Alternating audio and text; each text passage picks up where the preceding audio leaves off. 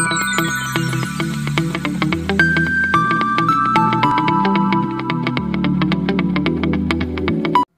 friends welcome to our channel Idumban Tamil மருத்துவம் இன்றைக்கி நம்ம சேனலில் தூக்கமின்மையை போக்குறதுக்கு டிப்ஸ் பார்க்க போகிறோம் ஏற்கனவே தூக்கமின்மை என்ன காரணத்தினால ஏற்படுதுன்னு தூக்கமின்மைக்கு டிப்ஸும் போன வீடியோவில் நான் கொடுத்துருக்கேன். இது அதோட கண்டினியூஸ் தான். இந்த டிப்ஸையும் நீங்கள் பயன்படுத்தி தூக்கமின்மையை குணப்படுத்திக்கலாம். தூக்கம் சரியாக இல்லைனாலே நம்ம அன்றாட வாழ்க்கையில் நம்ம வேலைப்பாடுகளை கவனம் செலுத்த முடியாது. மன அழுத்தம் அதிகமாகும். கவலை அதிகம் இருந்தாலும் தூக்கமின்மை ஏற்படும். அது மாதிரி நம்ம சாப்பிடக்கூடிய உணவுகள் செரிமானம் ஆகாமல் இருந்தாலும் தூக்கமின்மை ஏற்படும். இந்த அஜீரண கோளாறுகளை போக்குறதுக்கு ஏற்கனவே நம்ம சேனலில் வீடியோஸை போட்டிருக்கோம். நீங்கள் அதை பார்த்து செஞ்சு பயன்படுத்திக்கலாம். இன்னும் பல தீய பழக்கத்தினால கூட தூக்கமின்மை ஏற்படும். இப்போ இந்த தூக்கமின்மையை குணப்படுத்துறதுக்கு டிப்ஸுகளை தெரிஞ்சுக்கலாம். தேங்காய் பால் சாறு எடுத்துக்கோங்க. தலையில் தேய்ச்சி நல்லா அரை மணி நேரம் ஊற விடுங்க. நல்லா ஊறினதுக்கப்புறம் இளம் வெளியில் குளிச்சு வாங்க. இதை நம்ம செய்கிறனால இளநரையும் ஏற்படாமல் நம்ம பாதுகாத்துக்கலாம். இந்த முறையை வாரத்துக்கு ரெண்டுலேருந்து மூணு நாள் செஞ்சுட்டு வந்தீங்கன்னா நிம்மதியான தூக்கம் கிடைக்கும். இதோடு இரவு நேரத்தில் தூங்குறதுக்கு முன்னாடி ஜீரக தைலத்தை விரலால் எடுத்து லேஸ் லேஸாக நுகர்ந்து வரலாம். தினசரி பகலில் ரெண்டுலேருந்து மூணு சப்பாட்டா பழங்களை நம்ம சாப்பிட்டு வரலாம். இந்த சப்போட்டா பழத்தை நம்ம சாப்பிட்றனால இரவில் நல்ல தூக்கம் கிடைக்கும். திருநீற்று பச்சளை இது மூலிகை சந்தையில் கிடைக்கும். இந்த திருநீற்று பச்சளை கிடச்சா அந்த திருநீற்று பச்சளையை லைட்டாக நசுக்கி சாரை நுகர்ந்து வந்தாலும் நல்ல உறக்கம் கிடைக்கும். வெந்தயக்கீரை வெந்தயக்கீரையை தண்ணீரில் சுத்தம் பண்ணிவிட்டு ரெண்டு கைப்பிடி அளவு வெந்தயக்கீரையை மிக்சியில் போட்டு எடுத்துக்கோங்க. அதை நல்லா ஒரு துணியில் போட்டு பிழிஞ்சு நூறு எம்எல் டம்ளரில் எடுத்து நல்லா பிழிஞ்சு அந்த நூறு எம்எல் டம்ளரில் கா டம்ளர் அளவு இந்த வெந்தயக்கீரை சாறை எடுத்துக்கோங்க. ஸ்பூன் அளவுனா ஆறு ஸ்பூன் அளவு வெந்தயக்கீரை சாறு எடுத்து அதோட ஒரு ஸ்பூன் அளவு தேன் கலந்து நீங்கள் தூங்குறதுக்கு ஒரு மணி நேரத்துலேருந்து ஒன்றரை மணி நேரத்துக்கு முன்னாடி இந்த மருந்தை சாப்பிட்டு வர உங்களுக்கு நல்லா ஆழ்ந்தமான தூக்கம் கிடைக்கும். இப்போ வெந்தயக்கீரை முறையை பார்த்தோம். அடுத்ததாக வெந்தயத்தில் ஒரு முறையை பார்க்கலாம். வெந்தய பொடி இந்த வெந்தய பொடியை ஒன்றுலேருந்து ஒன்றரை ஸ்பூன் அளவு எடுத்து காய்ச்சின ஒரு டம்ளர் பாலோட ஒரு ஸ்பூன் அளவு தேன் சேர்த்து கலந்துக்கோங்க. இந்த மருந்தை தினசரி தூங்குறதுக்கு ஒரு மணி நேரத்துக்கு முன்னாடி குடிச்சு வாங்க. படிப்படியாக ஆழ்ந்த தூக்கம் கிடைக்கும். அடுத்ததாக இந்த வெந்தய பொடியை ஒன்றுலேருந்து ஒன்றரை ஸ்பூன் அளவு எடுத்து இளம் வெந்நீரோட கலந்து இதோட ஒரு ஸ்பூன் அளவு தேன் சேர்த்தும் நீங்கள் சாப்பிட்டு வரலாம். இதை நீங்கள் தினசரி தூங்குறதுக்கு ஒரு மணி நேரத்துக்கு முன்னாடி செஞ்சு வரணும். இப்படி நீங்கள் செஞ்சு வர படிப்படியாக உங்களுக்கு நல்ல தூக்கம் வரும். தினசரி நம்ம இந்த வெந்தய முறையை பயன்படுத்திட்டு வரனால உடலுக்கு உஷ்ணத்தை தணித்து குளிர்ச்சியை ஏற்படுத்தும். உஷ்ணத்தால் ஏற்படக்கூடிய எலும்புருக்கி நோயை குணப்படுத்தும். உடலுக்கு நல்ல வலு தரும். மூளைக்கு நல்ல குளிர்ச்சியை தரும். இன்னும் பல நோய்களை இந்த வெந்தய முறை குணமாக்கும். வெந்தயக்கீரையும் வெந்தயமும் பயன்படுத்தி தூக்கமின்மையை போக்குறதுக்கு மருத்துவ குறிப்பை பார்த்தோம். இப்போ அடுத்து இன்னொரு முறையை பார்க்கலாம். மருதாணி பூ சூரணம். இது நாட்டு மருந்து பலசரக்கு கடைகளில் கிடச்சா நீங்கள் வாங்கிக்கலாம். இல்லைன்னா மருதாணி பூ காஞ்சதாக வாங்கி நல்லா வெயிலில் காய வச்சு எடுத்து பவுட்ரு பண்ணி வச்சுக்கலாம். இல்லைன்னா ஒரு சட்டியில் இந்த மருதாணி பூவை போட்டு நல்லா லேசாக தீ வச்சுக்கோங்க. வச்சுட்டு நல்லா வறுத்து அதுக்கப்புறம் நீங்கள் பவுட்ரு பண்ணி வச்சுக்கலாம். இந்த மருதாணி சூர்ணத்தோட மல்லிப்பொடி அதாவது மல்லித்தூள் ரெண்டையும் சம அளவாக எடுத்து கலந்து எடுத்து வச்சுக்கோங்க. இதிலிருந்து ஒரு ஸ்பூன் அளவு சூரணத்தை எடுத்து ஒரு டம்ளர் பாலோட கலந்து இதோட ஒரு ஸ்பூன் தேன் சேர்த்து நல்லா கலந்து தூங்குறதுக்கு ஒரு மணி நேரத்துக்கு முன்னாடி நீங்கள் இதை குடிச்சு வந்தீங்கன்னா படிப்படியாக தூக்கமின்மை குணமாகி நல்ல தூக்கம் கிடைக்கும். மருதாணி பூவை நீங்கள் சட்டியில் போட்டு நல்லா வதக்குறப்ப பூ கருக விடாமல் மருதாணி பூ சூடு ஏறினதும் நீங்கள் இறக்கி வச்சு அதை அரைச்சி பவுடர் பண்ணி வச்சுக்கலாம். ஜீரகத்தூள் ஜீரகத்தை நல்லா பவுட்ரு பண்ணி எடுத்து வச்சுக்கோங்க.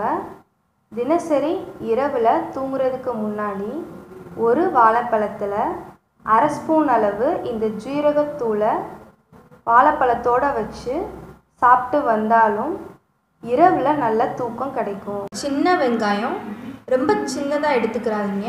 கொஞ்சம் பெரிய சைஸ் சின்ன வெங்காயமாக நாலுலேருந்து அஞ்சு சின்ன வெங்காயத்தை எடுத்து தோல் உரிச்சிட்டு சட்டியில் போட்டு கொஞ்சம் நெய் விட்டு மிதமான தீயில் இந்த வெங்காயத்தை லேசாக வதக்கி வாங்க. வதக்கிட்டு நீங்கள் எடுத்துக்கலாம். இந்த வெங்காயத்தை நீங்கள் தூங்குறதுக்கு அரை மணி நேரத்துக்கு முன்னாடி சாப்பிட்டு வாங்க. தினசரி நைட்டு தூங்குறதுக்கு முன்னாடி இது மாதிரி செஞ்சு நீங்கள் சாப்பிட்டு வர படிப்படியாக நிம்மதியான உறக்கம் கிடைக்கும். இப்போ அடுத்ததாக வெந்தாமரை பூவை வச்சு ஒரு முறையை பார்க்கலாம். வெந்தாமரை நம்ம எல்லாருக்குமே தெரியும். சரஸ்வதி தேவிக்கு படைச்சிட்டு வருவாங்க. ஒரு வெந்தாமரை பூ எடுத்துக்கோங்க.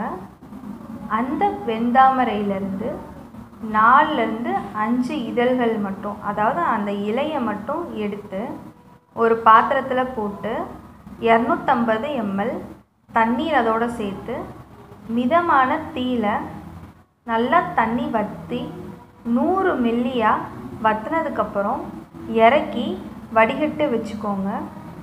இந்த நூறு எம்எல்லேருந்து ஐம்பது எம்எல் காலையிலையும் ஐம்பது எம்எல் மாலையிலையும் சாப்பாட்டுக்கு அப்புறம் இந்த கஷாயத்தோட ஒரு ஸ்பூன் தேன் சேர்த்து தேன் சேர்த்து கலந்து சாப்பிட்டு வாங்க.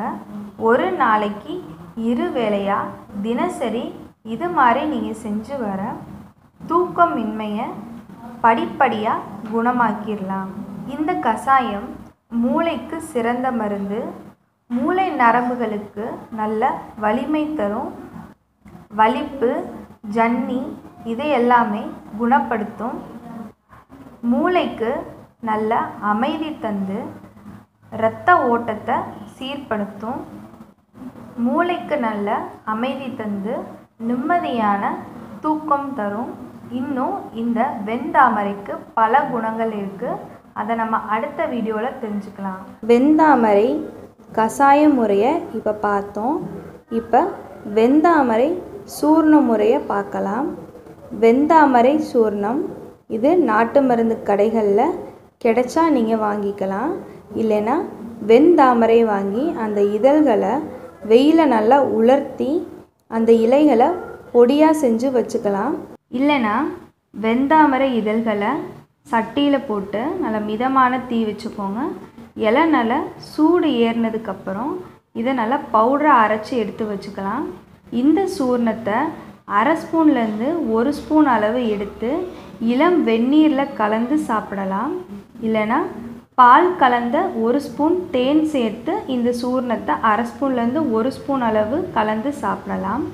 இந்த சூர்ணத்தை ஒரு நாளைக்கு இரு வேளையாக காலையிலையும் மாலையிலையும் சாப்பாட்டுக்கு அப்புறம் சாப்பிட்டு வர உங்களுக்கு நல்ல தூக்கம் கிடைக்கும். ஒரு சின்ன வெங்காயத்தை எடுத்துக்கோங்க. தோல் நல்லா உரிச்சிட்டு லேசான துணியில் வச்சு அதை இடித்து அந்த சாறை தூங்குறப்ப நல்லா லேஸ் லேசாக நுகர்ந்து வாங்க. அப்படியே நல்ல தூக்கம் கிடைக்கும். இதே மாதிரி ஒரு சின்ன வெங்காயத்தை எடுத்து தோல் உரிச்சிட்டு லேசாக இடிச்சுக்கோங்க. இடித்த இந்த வெங்காயத்தை சுத்தமான லேசான துணியில் போட்டு கண்களில் ஒரு சொட்டளவு இந்த வெங்காய சாறை பிழிஞ்சு விடுங்க. எரிச்சல் இருக்கும். அந்த எரிச்சல் குறைஞ்சதும் நல்ல தூக்கம் கிடைக்கும். வெங்காயம் கண்களுக்கு ரொம்ப நல்லது. கண் சம்பந்தப்பட்ட நோய்களை இது குணமாக்கும். கண் எரிச்சல் கண் குத்தல் கண்ணில் சிவப்பாக இருக்கிறது. கண் குறைபாடு இன்னும் கண் குறைபாடாக ஏற்படக்கூடிய பல கோளாறுகளை இது குணமாக்கும். அடுத்ததாக தூங்குறதுக்கு முன்னாடி படுக்கையில் அமர்ந்து நம்ம வலது கையால் பின் முதுகு எலும்பை பிடிச்சு இருபது நிமிஷம் தடவி கொடுத்துட்டே வாங்க. படிப்படியாக நல்ல தூக்கம் வரும். இது போல் தூங்குறதுக்கு முன்னாடி நம்ம படுக்கையில் படுத்துட்டு நம்ம ரெண்டு கால்களையும் கொஞ்சம் உயரமாக உயர்த்தி ஒரு பெஞ்ச் கூட வச்சுக்கலாம். பெஞ்ச் போட்டு கொஞ்சம் கால்களை ரெண்டு கால்களையும் சேர்த்து உயர்த்தி வைங்க. இருபது நிமிஷம் இது மாதிரி கால்களை உயர்த்தி வச்சுக்கோங்க. படிப்படியாக உங்களுக்கு தூக்கம் கிடைக்கும். நீண்ட நாள் தூக்கம் இல்லாதவங்க இந்த முறைகளை ஏதாவது ஒரு முறையை தினசரி செஞ்சுட்டே வர உங்களுக்கு படிப்படியாக நல்ல ஆழ்ந்த தூக்கம் கிடைக்கும். இதோட உணவு முறைகளில் பொன்னாங்கண்ணி கீரை வல்லாரை கீரை பசலிக்கீரை முருங்கைக்கீரை புதினா கொத்தமல்லி இவைகளை துவையலாவோ கூட்டாவோ செஞ்சு உணவோடு சேர்த்து தினசரி ஏதாவது ஒரு கீரைகளை நம்ம சாப்பிட்டு வர உடலுக்கு நல்ல தந்து மூளைக்கு அமைதியும் தந்து நல்ல நிம்மதியான தூக்கமும் கிடைக்கும். தூங்குறதுக்கு முன்னாடி மன அமைதியாக இருக்கணும். அதிகமான சிந்தனை கொடுக்காம மன மகிழ்ச்சியாக இருக்கிற மாதிரி பொழுதுபோக்குகளை நீங்கள் பார்க்கலாம். காமெடி நிகழ்ச்சிகளை பார்க்கலாம். இன்னும் மனதுக்கு மகிழ்ச்சியை தரக்கூடிய விஷயங்களை நம்ம செஞ்சுட்டு வர நமக்கு நிம்மதியான தூக்கம் படிப்படியாக கிடைக்கும். இந்த முறைகளில் ஏதாச்சும் ஒரு முறையை பயன்படுத்திக்கிட்டே வாங்க. எந்த முறை உங்களுக்கு நல்ல பயனளிக்குதோ அந்த முறையை நீங்கள் செஞ்சு பயன்படுத்திக்கிட்டே வாங்க. நல்ல தூக்கம் கிடைச்சதும் நீங்கள் இதை நிப்பாட்டிக்கலாம். தேவைப்பட்டால் அந்த முறையை நீங்கள் தொடர்ந்து பயன்படுத்திக்கலாம். இந்த சூர்ண முறைகளில் ஏதாவது ஒரு சூர்ண முறையை நீங்கள் தினசரி பயன்படுத்திக்கிட்டே வாங்க. இதோட நீங்கள் டெய்லி சப்போட்டா பழம் சேர்த்து சாப்பிட்டுக்கலாம். வாரத்திற்கு ஒரு முறை தேங்காய் பால் தேய்ச்சி குளிக்கிற முறையை பயன்படுத்திக்கலாம். அதே மாதிரி எண்ணெய் தேய்ச்சி குளிக்கும் முறையும் நீங்கள் பயன்படுத்திக்கலாம். இது மாதிரி நீங்கள் செஞ்சு வரலாம். படிப்படியாக நல்ல தூக்கம் வரும். இது போல் இன்னும் பல நோய்களுக்கான மருத்துவ தகவலுக்கு நம்ம சேனல் இடுமன் தமிழ் மருத்துவத்தை தொடர்ந்து சப்ஸ்கிரைப் பண்ணி நம்ம வீடியோஸை பார்த்துக்கிட்டே வாங்க. உங்கள் ஃப்ரெண்ட்ஸ்க்கும் நம்ம வீடியோஸை ஷேர் பண்ணுங்கள்